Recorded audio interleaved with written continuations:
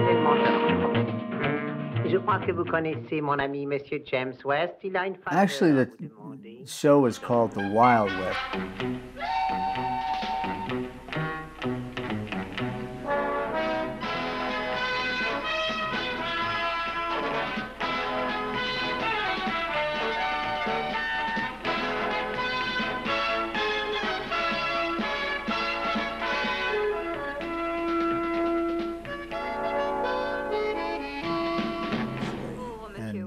Through the course of filming, we were having what we call producer changes.